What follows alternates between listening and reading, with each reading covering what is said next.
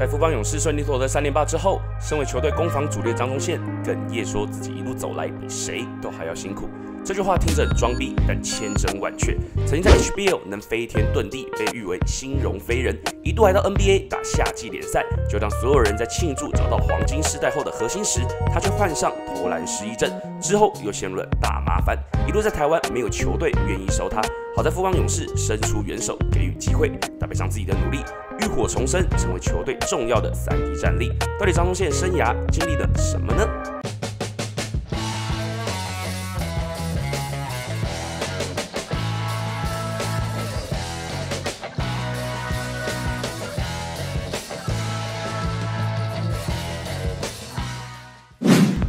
大家好，我是球王小编，A.K. 胖爷。出生于宜兰的张宗宪，从小就对篮球非常有兴趣。至于他的篮球启蒙，相信你我都不陌生，就是童年回忆《灌篮高手》。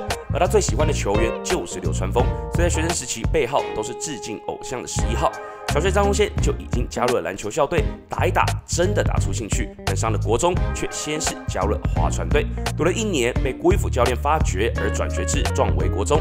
也因为郭教练和信用高中的田本瑜教练是学长学妹关系，田姐才因此注意到张宗宪。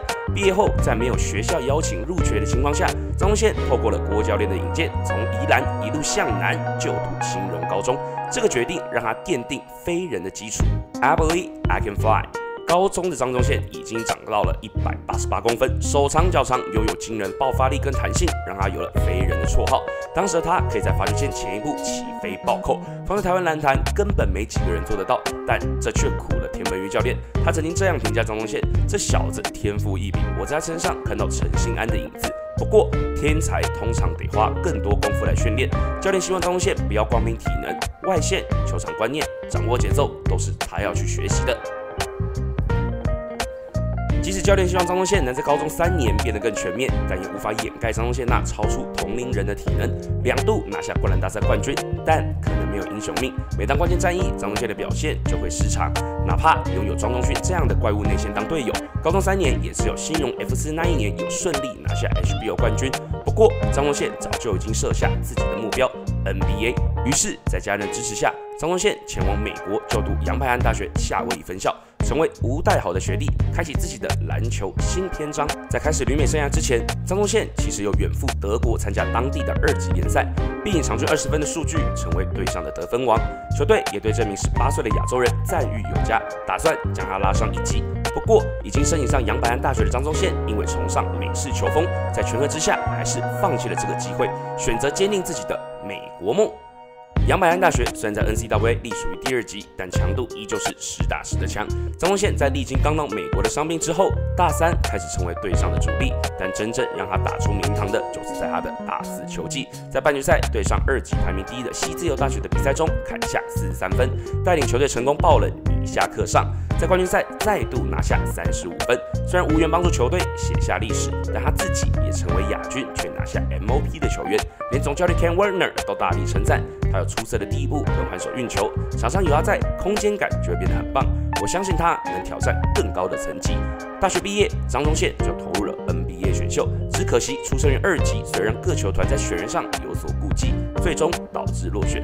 虽然代表灰狼参加了夏季联赛，但也在最后一场比赛才有了上场机会，表现也没有达到预期，距离梦想只差一步。不过张宗宪自己明白，是时候向前看了。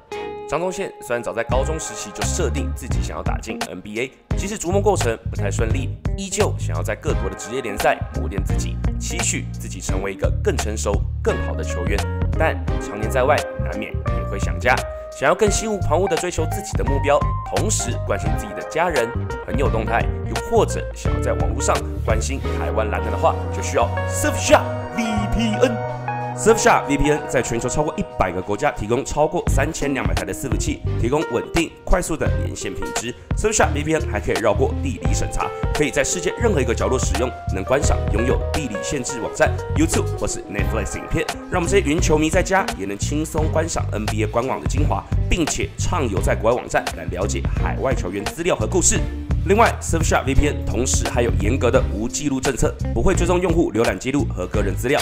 这样子，我们在看国外运动转播、查询体坛资讯和新闻都不怕担心各自外泄啦。此外，不论是 iOS 还是 Android 系统都可以跨区使用，而且一个账号可以在多个装置上使用。赶快找到自己的球友们一起体验看看吧！现在只要输入频道优惠码 b o w up 就可以享有专属优惠，还多送你三个月免费使用，并且还有三十天无条件退款政策，让你使用起来更加安心。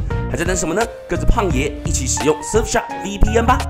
离开美国的张宗宪的职业生涯起步就来到了 CBA，当时的他已经跟上海大鲨鱼完成了协议，可惜因为卡到兵役，双方迟迟没有完成签约，自己也因为这件事情长达两个月没有上场比赛。最后双方同意取消合约，在历经一年的自主训练后，在邱大中教练骑进 CBA 的游说下，张宗宪选择加盟了四川金强。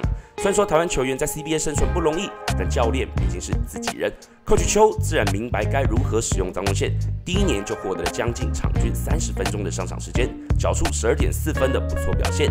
但随后因为 Coach 被开除，张宗宪上场时间直接砍半，成绩自然打折扣。之后在队友的引荐下，加入了菲律宾直男 PBA。也是这个经历，让新台湾飞人从此之后改在地板上作业。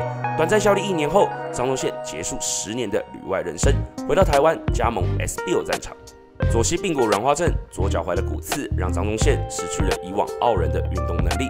投篮姿势也在旅美时期，为了适应 NBA 的三分线而慢慢开始走中。原本流畅的动作变得非常卡，过度依赖上肢的力量，让他在投射端只能看天吃饭。一度还会习惯头往右边转，也因为如此，在回到台湾之后，他投篮命中率一直在四十 percent 左右徘徊。虽然丧失了原有的运动爆发力，还是可以靠着对抗性频频下分数。但随着年纪的增长，张宗宪慢慢的无法再靠身体硬干得分。在根除脚部的伤势之后，加盟 ABL 宝岛梦想家的张宗宪投篮机制似乎更顺畅了。虽然还没回到巅峰时期的身手，但至少对手在针对他的防守不能再是放投不放切了。正当一件事情往好的方向走时，麻烦来了。二零二零年七月，张宗宪在一次车辆临检时被发现持有含大麻成分的电子烟。虽然因为没有前科且饭后态度良好，获判缓起诉，但梦想家还是火速开除。仅仅三十一岁的张宗宪瞬间无球可打。沉寂了一年之后，台湾直男霹雳横空出世，富邦勇士看上了张宗宪的身手，与他约法三章，积极参与公益，积极投入训练，积极投入反毒宣传。最终双方达成签约加盟，张宗宪自己也坦言非常惊讶，过去犯的错让我明白什么是失去，但也明白失去也是一种获得。在充满中华队国手的副帮里，张宗宪不需要再去扛球队的第一得分箭头，他选择从防守做起。